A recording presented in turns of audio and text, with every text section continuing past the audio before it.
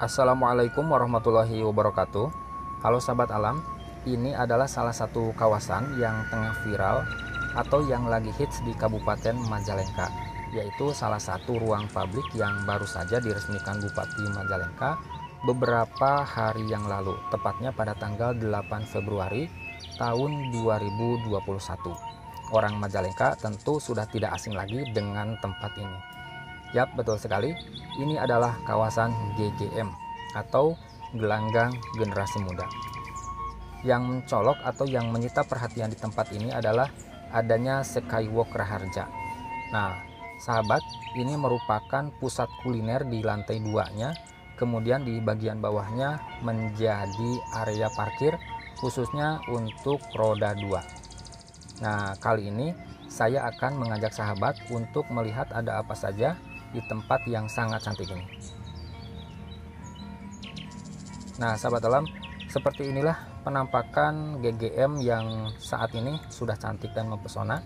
Dan sekali lagi, yang mencolok di tempat ini adalah adanya Skywalk Raharja, di mana di lantai duanya ada pusat kuliner yang bisa dinikmati oleh sahabat yang berkunjung ke tempat ini. Dan tadi di bawah sudah terlihat bahwa bagian bawah itu dijadikan sebagai tempat parkir kendaraan bermotor. Nah, saat ini sahabat tengah melihat view yang bisa dinikmati dari Skywalk Raharja di lantai 2 ini. View-nya sangat cantik sekali, cocok bagi teman-teman yang suka selfie atau swafoto. Nah, sahabat, selanjutnya saya akan mencoba untuk menelusuri tempat lainnya.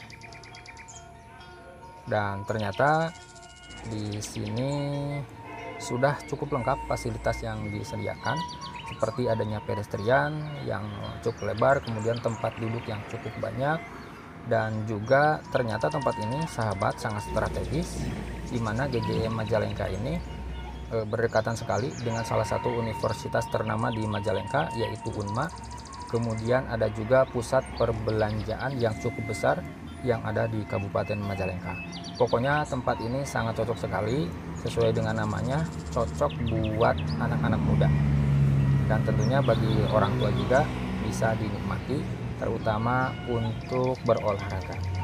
Saya juga akan mencoba untuk menelusuri jogging track yang ada di tempat ini. Sahabat bisa melihat sendiri ini adalah jogging track yang sangat indah di mana warnanya itu mencolok dengan warna merah kemudian ada aksen berwarna putih. Tentu ini akan menambah semangat untuk bagi untuk sahabat uh, uh, apa untuk berolahraga. Kemudian di sini juga dikarenakan nanti akan digunakan sebagai tempat upacara resmi di Kabupaten Majalengka maka disediakan semacam gazebo atau tribun seperti ini ini cukup luas sekali. Kemudian ada juga tiang bendera. Ini adalah toilet. Jadi toiletnya itu sangat cantik sekali. Bahkan bisa dijadikan sebagai background untuk sebuah foto atau selfie.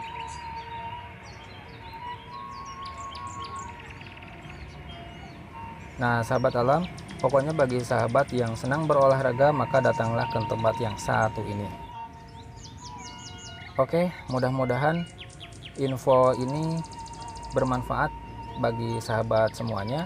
Sahabat pokoknya bisa melihat kawasan ini eh, pada pagi hari, kemudian bisa dinikmati juga pada sore hari, bahkan malam hari. Apalagi kalau misalnya pusat kulinernya sudah buka, tentu akan jauh lebih enak lagi ketika nongkrong di tempat ini.